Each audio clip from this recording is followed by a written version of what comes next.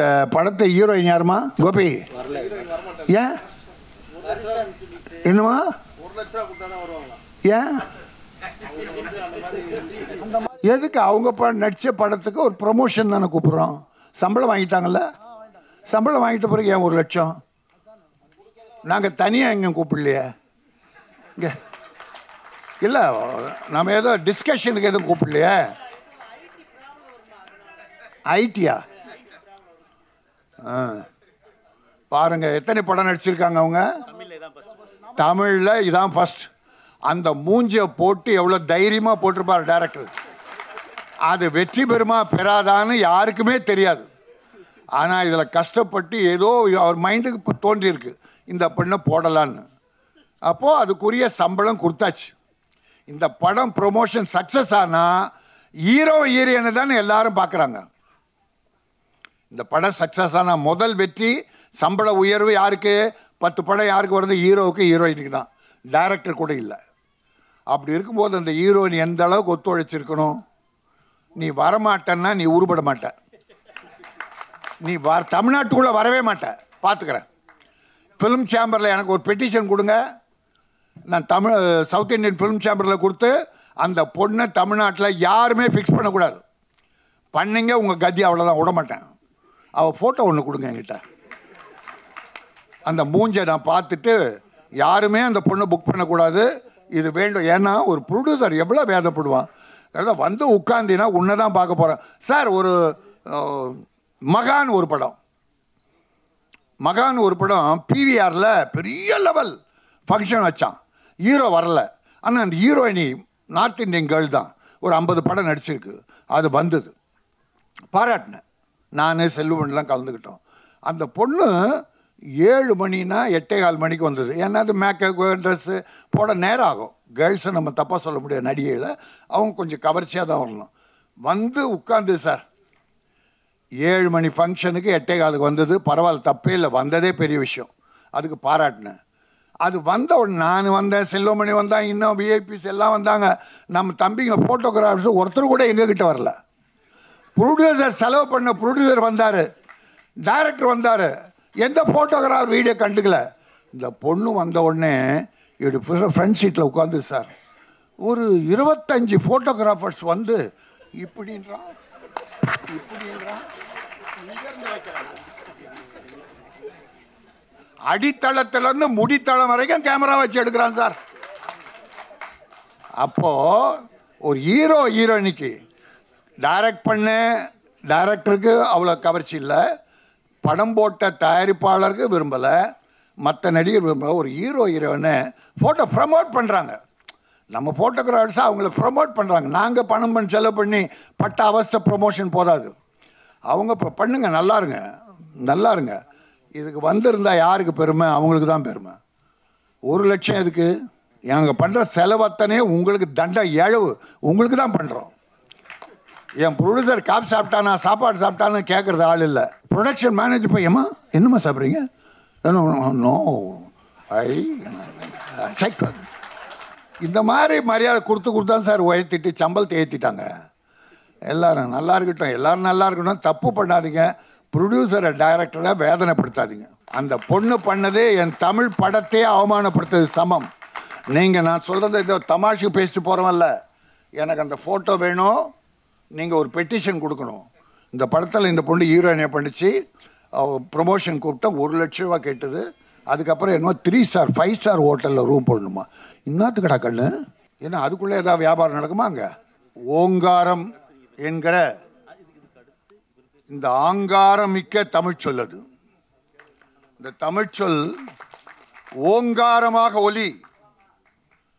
எவனுக்கும் அஞ்சாதே யாரையும் கெஞ்சாதே. உன்னுடைய ஒவ்வொரு வார்த்தையும் ஓங்காரமாக ஆங்காரமாக இருக்க வேண்டும். அது எப்போ இருக்குன்னா நாம் தப்பு செய்யாமல் இருக்கும்போது தான் இருக்கும். நான் தப்பு செஞ்சுட்டு நீ வந்து தப்பு பண்ணுற கெட்டது பண்ணுறேன்னு சொன்னால் எடுபட போடா டே போட. ஆயிரம் தப்பை வச்சுக்கின்னு எனக்கு அறிவுரை கூடுறான்டுவான் நாம் ஒழுங்காக இருக்க வேண்டும். நம் ஆழ் மனதில் இருக்க அழுக்குகள்லாம் விளங்கிட வேண்டும். அடுத்தவன் நல்லா இருக்கணும்னு நினைக்கணும். முடிஞ்சால் இந்த மாதிரி உதவிகள் செய்யணும். வாழ்க்கையில் வேறு ஒன்றுமே மிஞ்சாதுங்க. வாழ்க்கையில் வேறு ஒன்றுமே மிஞ்சாது. பெரும் பெரும் பணக்காரெல்லாம் அறிக்கை விடுறான். எனக்கு ஐம்பதாயிரம் கோடி இருக்குது ஒரு லட்சம் கோடி இருக்குது. ஆனால் மனசில் நிம்மதி இல்லைன்றான். எப்படி இருக்கும்? அந்த ஓராயிரம் கோடி எல்லாம் உனக்கா கொடுத்தாரு கடவுள். உன் மூலமாக ஏழைகளுக்கு உதவி செய். பெருந்தலைவர் காமராஜ் சொல்லுவார் மழை கொட்டுகிறது. அந்த மழை மேட்டிலே பெய்ந்தால் அந்த மழை நீரெல்லாம் எங்கே போகும்? பள்ளத்துக்கு போகும். பள்ளம் என்பது காமராஜ் சொன்னது ஏழைகளை. மேடு என்பது பணக்காரர்களை. ஆக காமராஜ் யாரெல்லாம் பணம் உள்ளவர்கள் இருக்கிறீர்களோ உங்கள் தேவைக்கு போக ஏழைகளுக்கு கொடுங்கள் என்று சொன்னான் அந்த பெருந்தலைவன். அதே போல நல்ல காரியங்கள் நிறைவாக செய்யுங்கள். மனம் அமைதியாக இருக்கும். நல்லதை சிந்திப்போம் நல்லதை சொல்லுவோம் நல்லதை செய்வோம் என்பது அந்த வழிதான் நான் நடந்து கொண்டிருக்கிறேன். ஓங்காரம். என்ற மிகப்பெரிய வேலனின் ஓங்கார வேலனா? வேலனின் ஓங்காரம். அது ஏன் கீழே வந்தது Velan? Right okay okay okay பரவாயில்ல. அது அதெல்லாம் மன்னிக்க ஆமாம் வேலனின் ஓங்காரம்.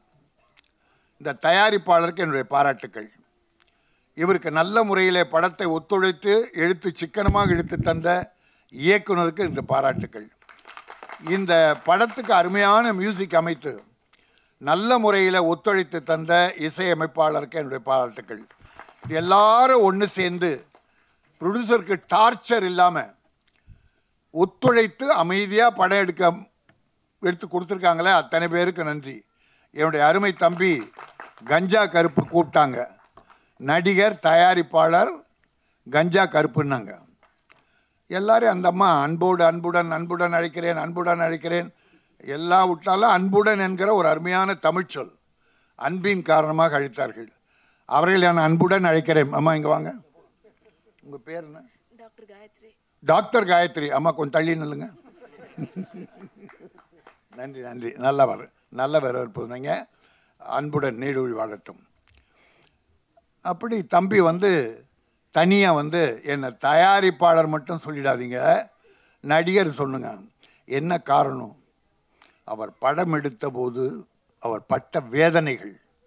எல்லாரும் சேர்ந்து அவரை துன்புறுத்திய நிலை. படம் எடுத்து முடித்த பிறகு ரிலீஸ் பண்ணுறபோது போது அவர் பட்ட அவமானங்கள். இருந்த சம்பாதிச்ச சொத்தெல்லாம் வித்துட்டார். அது ஒவ்வொரு தயாரிப்பாளருக்கும் நடந்து கொண்டிருக்கிறது. இதுதான் இருக்கக்கூடாதுன்னு நான் போராடுறேன். நான் போராடுவது நீங்கள் வரும்போதே படம் எடுக்க வரும்போதே எப்படி சிக்கனமாக படம் எடுக்கிறது எது நல்ல கதையை தேர்ந்தெடுக்கிறது. முதல்ல நல்ல கதையை தேர்ந்தெடுக்கணும். அந்த கதைக்கு நல்ல இயக்குனர் ப்ரொடியூசரை ஒத்து வர்ற இயக்குனரை தேர்ந்தெடுக்கணும். இன்னைக்கு நம்ம நம்பி படம் எடுக்கிறாரு அந்த ப்ரொடியூசர் நல்லா இருக்கணும் என்று நினைக்கிற அந்த நடிகர்கள் நடிகைகள் எல்லாரும் ஒன்றா இருந்தால் நிச்சயமாக அற்புதமாக படம் அமையும். இதை என்னுடைய தம்பி மோகன்ஜி. எங்கள் வண்ணாரப்பேட்டையில் பிறந்து வளர்ந்தவன். அவன் முதல்ல திரௌபதின்னு ஒரு படம் எடுத்தான். பேசப்பட்டது. படம் வெளிவரும்போதே அது ஒரு கான்ட்ரவர்சியை உருவாக்கிட்டான். பட் அவன் மனசில் கான்ட்ரவர்சி இல்லை. பார்த்தவங்க மனசில் இருந்தது. ரைட் பிரமாதமாக போச்சு. அடுத்த ருத்ர தாண்டவம். அவனே ப்ரொடியூசர் அவனே டைரக்டர் ஆனால் என்ன சிக்கனமாக எடுக்கிறான் தெரியுமா? என்ன சுறுசுறுப்பாக படம் பண்ணுறான் தெரியுமா?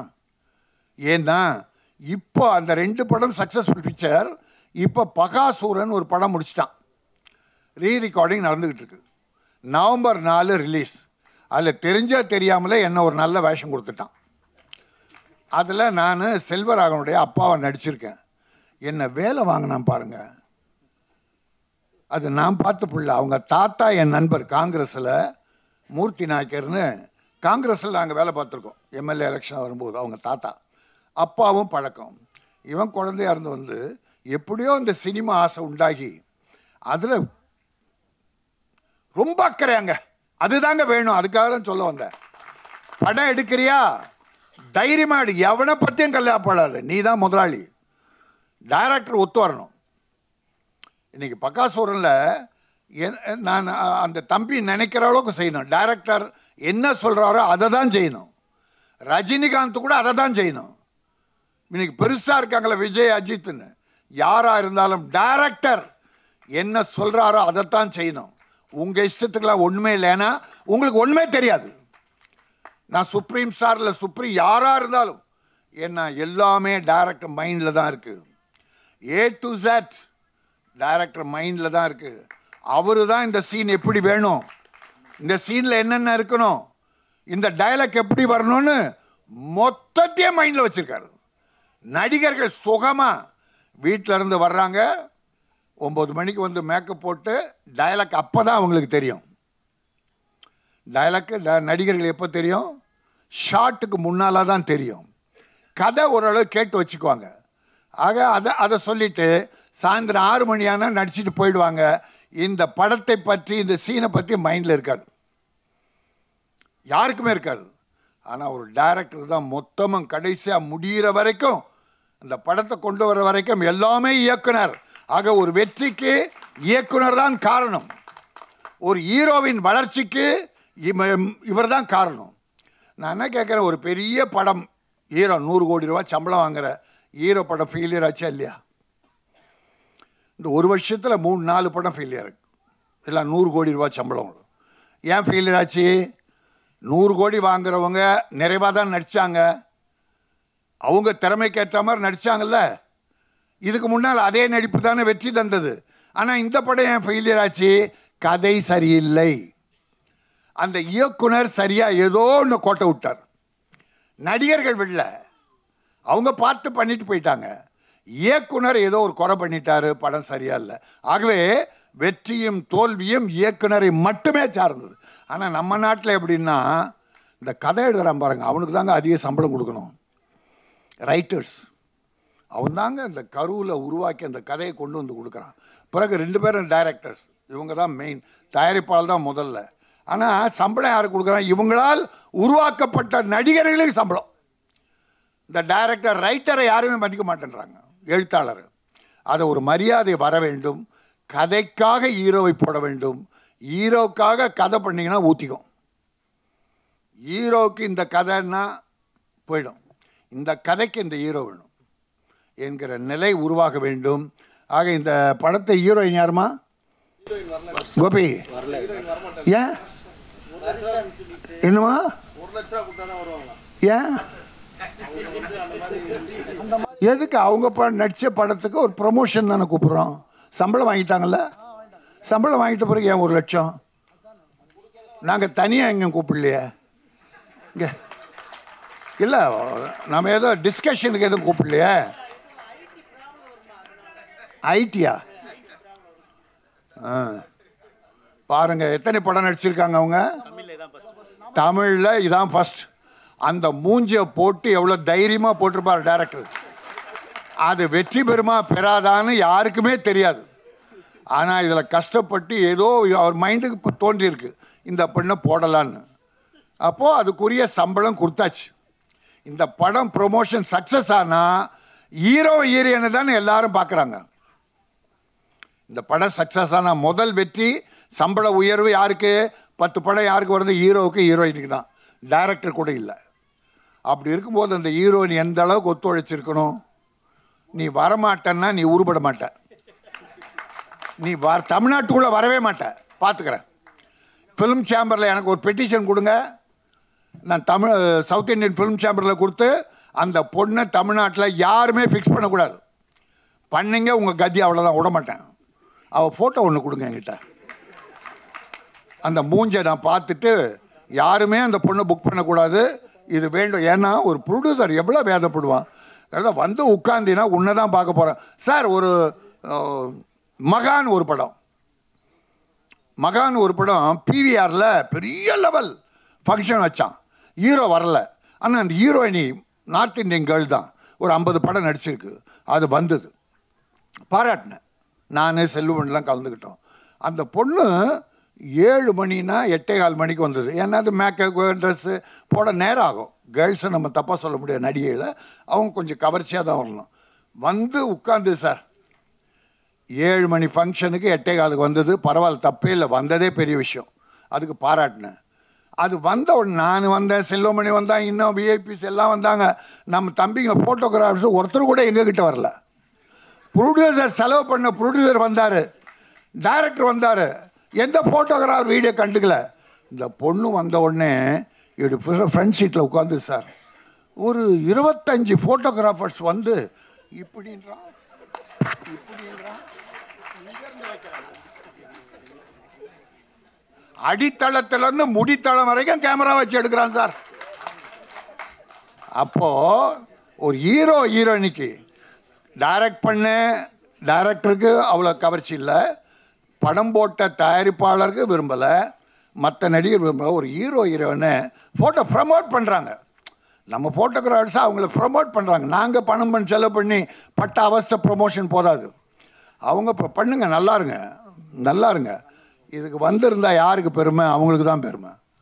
ஒரு லட்சம் இதுக்கு ரைட் ஜாக்கிரதையாக வச்சுங்க. தமிழ் பெண்கள் நமக்கு கொடுக்குற மரியாதையை மற்றவங்க கொடுக்கறதில்ல.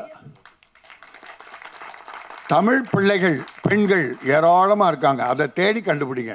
இல்லாத போது நம்ம வெளியே பார்த்துக்கலாம் அதெல்லாம் நம்ம மாநிலம்தான் ஆந்திராவில் இந்த பொண்ணு மாதிரி நான் எதுவும் கேள்விப்படல. பல பேர் வந்து ஒத்துழைச்சிருக்காங்க. அவங்களெல்லாம் என்னுடைய பாராட்டுகள். சார் முந்தா நாள் ஒரு ஆடியோ ஃபங்க்ஷன் என்ன? ஒன் வே படத்து பேர் ஒன் வே குஷ்பு வந்திருந்தது. குஷ்பு நான் பேரரசு உதயகுமார் விஜய் உதயகுமார் எல்லாரும் கலந்துக்கிட்டோம். என்ன பிள்ளை? இவ்வளோ படம் நடிச்சிச்சு என்ன பேர் எடுத்துருச்சு? எத்தனை புகழ் அந்த குஷ்புக்கு? அடக்கமாக வந்திருந்து அடுத்த படத்தை வாழ்த்தி நானும் படம் எடுத்து எடுத்துட்டு இருக்கேன் நல்லா எடுங்க சிக்கனமாக எடுங்க. படம் வியாபாரம் ஆகிற அளவுக்கு பண்ணுங்க அப்படின்னு ஒரு அட்வைஸ் பண்ணிட்டு போச்சு. எவ்வளோ மகிழ்ச்சியாக இருக்கு. அது நடிக்கலை. இன்னொருத்தர் வாழ்த்து வந்ததுன்னா நடிக்கிறவங்க வந்தால் உங்களுக்கு தான் பெருமை. நாங்கள் பண்ணுற செலவத்தனே உங்களுக்கு தண்டை இழவு. உங்களுக்கு தான் பண்ணுறோம் என் ப்ரொடியூசர் காப் சாப்பிட்டானா சாப்பாடு சாப்பிட்டான்னு கேட்குறது ஆள் இல்லை. ப்ரொடக்ஷன் மேனேஜர் பையம்மா என்னம்மா சாப்பிட்றீங்க? நோ ஐ செக் இந்த மாதிரி மரியாதை கொடுத்து கொடுத்தான் சார் உயர்த்திட்டு சம்பளத்தை ஏற்றிட்டாங்க எல்லாரும் நல்லா இருக்கட்டும் எல்லாரும் நல்லா இருக்கட்டும் தப்பு பண்ணாதீங்க. ப்ரொடியூசரை டைரக்டரை வேதனைப்படுத்தாதீங்க. அந்த பொண்ணு பண்ணதே என் தமிழ் படத்தையே அவமானப்படுத்துறது சமம். நீங்கள் நான் சொல்கிறத இந்த தமாஷுக்கு பேசிட்டு போகிறவன்ல எனக்கு அந்த ஃபோட்டோ வேணும். நீங்கள் ஒரு பெட்டிஷன் கொடுக்கணும். இந்த படத்தில் இந்த பொண்ணு ஹீரோயினை பண்ணிச்சு. ப்ரொமோஷன் கூப்பிட்டா ஒரு லட்ச ரூபா கேட்டது. அதுக்கப்புறம் என்னமோ த்ரீ ஸ்டார் ஃபைவ் ஸ்டார் ஹோட்டலில் ரூம் போடணுமா. இன்னத்துக்கடா கண்ணு? ஏன்னா அதுக்குள்ளே ஏதாவது வியாபாரம் நடக்குமா அங்கே? சரி ஒன்று தொலை நம்ம நல்லா ந- நல்லா ப- நடந்துக்கிட்டு இருக்கு. இங்கே வேணாம் ஏன்னா இதில் வேற என்னை முதல்ல விட்டாங்க. முந்தா நாள் பதினஞ்சு பேர் பேசுகிறோம் பதினாறு டயர்டாயிட்டேன் குஷ்பு என்னை மாட்டி விட்டுட்டு போயிடுச்சு.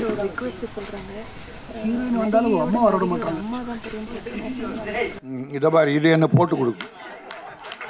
இது என்ன போட்டு கொடுக்குது. இன்னொரு மேட்ரு சொல்ல சொல்லுது நான் என்ன பண்ணேன்? நீங்களே சொல்ல அதாவது சார் அது ரகசியம் உங்களுக்கு கேட்டிருக்கோம் அது. அது ஒரு ரகசியமா? சார் அந்த நடிகை விட நடிகையோட அம்மா தான் ரொம்ப ப்ராப்ளம் பண்ணுறாங்களாண்ணா வரட்டை முட்டி உடச்சிருவோம். அம்மாக்கள் பெண்களை ரொம்ப ஜாக்கிரதையாக பார்த்துக்கிட்டு நினச்சிக்கிட்டு கெடுக்கிறாங்க. பொண்ணுங்களை ஜாக்கிரதையாக பார்த்துக்கிறேன்னு சொல்லிட்டு கெடுக்கிறாங்க. மற்றவங்கள ரொம்ப வேதம் தர்றாங்க. ஸ்ட்ரிக்ட் ஸ்ட்ரிக்ட்டுன்னு எனக்கு அந்த ஸ்ட்ரிக்ட் இல்லை. அந்த பிள்ளையோட கற்பை காப்பாற்றுறதுல ஸ்ட்ரிக்டாக இருங்க. அந்த பிள்ளைக்கு எந்த பாதிப்பும் வந்துடக்கூடாது. அதில் ஸ்ட்ரிக்டாக இருங்க. ஆனால் ஒரு படத்தில் நடித்து அந்த ப்ரொமோஷன் வர்றதுன்றத அம்மாக்கள் ஒத்துழைக்கணும். அந்த பொண்ணு சாப்பிட்றத விட அம்மாக்கள் நிறைய சாப்பிட்றாங்க செலவு அவங்க தான் அதிகம் வைக்கிறாங்க. ரைட் நல்லது. ஏதோ நீங்கள் சொன்னதால் கோபி நீ தான் இந்த வேலையை பண்ண போட்டு கொடுத்த. அவன் தான் வரும்போதே பேச சொன்னான்.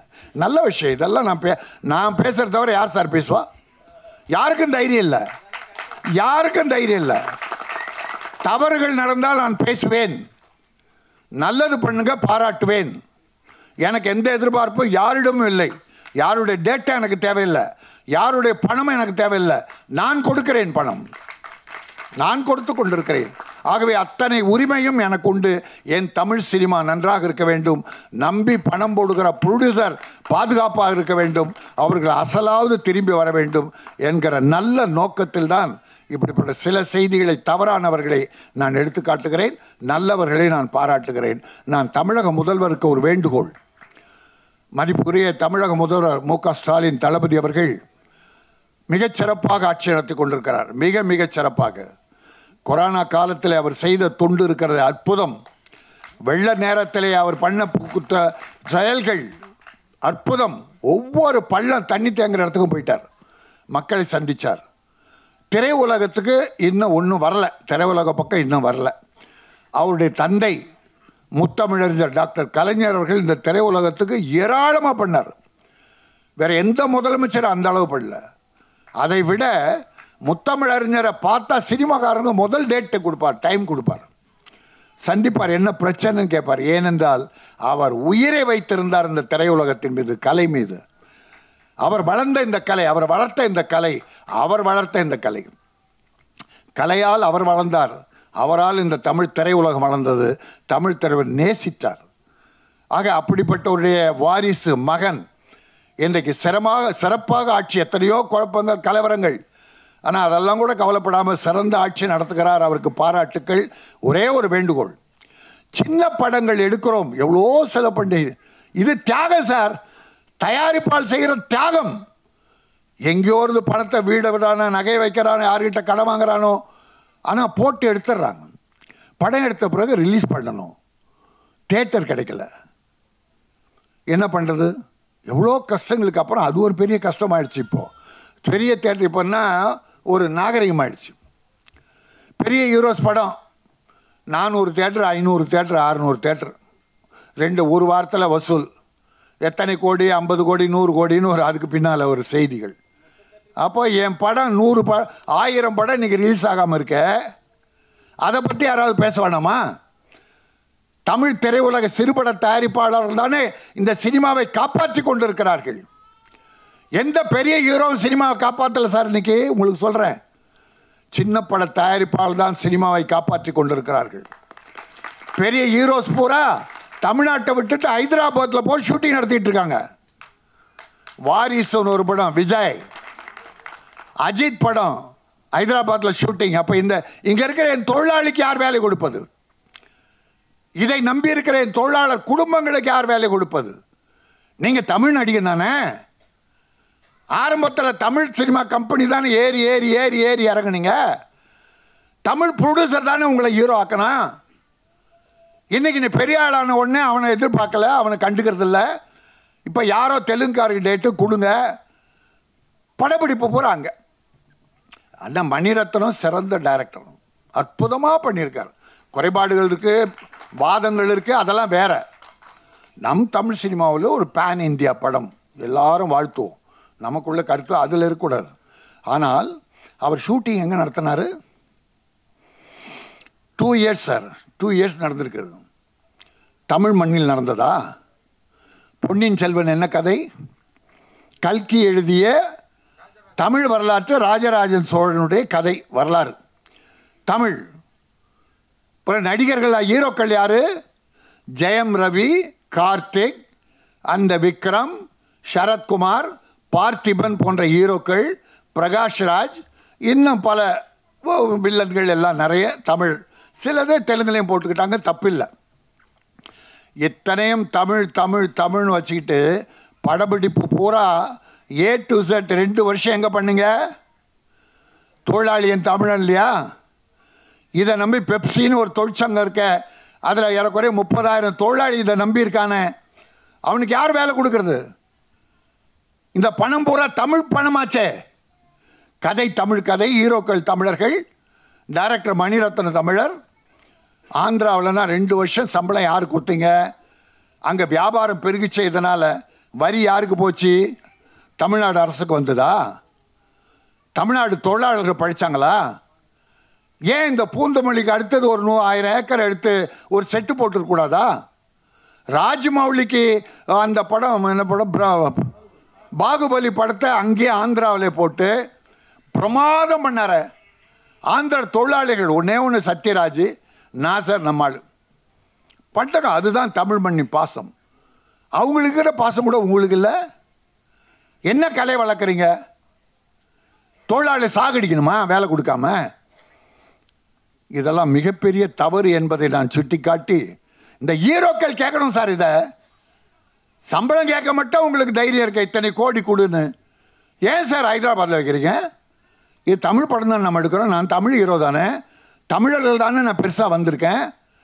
இங்கே வைங்க. ஒரு டுவெண்ட்டி ஃபைவ் பர்சன்ட் வெளியே நடத்தலாம். அதுக்காக நான் ஹண்ட்ரட் பர்சன்ட் இல்லாமல் ஒரு கதையில் பம்பாயில் நடக்கிற மாதிரி இருக்கும் லண்டன் நடக்கும். அதெல்லாம் அங்கே போகணும். எழுபத்தஞ்சு சதவீதம் தமிழகத்தில்தான் தமிழ் படங்களின் படப்பிடிப்பு நடத்த வேண்டும். என்கிற நிலையை என் பெப்சியும் உருவாக்க வேண்டும். தமிழக முதல்வரும் அதில் ஏன்னா நம்ம வருவாய் பூரா அங்கே போயிடுச்சு சார். நம்ம வருவாய் பூரா அங்கே போயிடுச்சு. தொழிலாளி பணம் வரி கிரி எல்லாம் அங்கே போயிடுச்சு. ஆகவே தமிழக முதல்வர் வேண்டி கேட்டுக்கொள்வது தமிழகத்திலே படப்பிடிப்புகள் எழுபத்தஞ்சு சதவீதம் நடக்கணும். அது ஏதோ ஒரு ரூபத்தில் அப்படி ஒரு விதி வரணும். பிறகு இந்த தேட்டர் எங்களுக்கு கிடைக்கல சின்ன பட தயாரிப்பாளர் அதனால் ஒரு ஒவ்வொரு மாவட்டத்திலையும் ஒரு மூணு தேட்டர் ஒவ்வொரு மாவட்டத்தில். சென்னை செங்கற்பட்டு காஞ்சிபுரம் அப்படி ஒவ்வொரு மாவட்டத்தில் மூணு சின்ன சின்ன தேட்டர் ஒரு இரநூறு இரநூத்தம்பது பேர். முப்பது ரூபா நாற்பது ரூபா ஐம்பது ரூபா டிக்கெட் ஏழைங்க படம் பார்க்குறதுக்கு. இப்போ பார்த்தா நீங்கள் இன்னும் இரநூறுவா முந்நூறுரூவா ஐநூறுரூவா போயிடுது. ஏழைகளால் படம் பார்க்க முடியல. அதனால் அது ஏழைகளுக்கும் உதவியாக இருக்கும். என் சிறு முதலீட்டு பட தயாரிப்பாளருக்கும் பேருதவியாக இருக்கும். ஆகவே சிறு பா சின்ன சின்ன தேட்டர். ஒரு இரநூறு பேர் முந்நூறு பேர் அடங்குறாம ஒரு தேட்டர் பண்ணி தமிழக அரசே இதை நடத்த வேண்டும். ஆன்லைன் டிக்கெட் இன்னும் உறுதிப்படுத்த வேண்டும் என தமிழக முதலை பணிவோடு நாட்டு கேட்டுக்கொள்கிறேன் நிச்சயம் செய்வார்.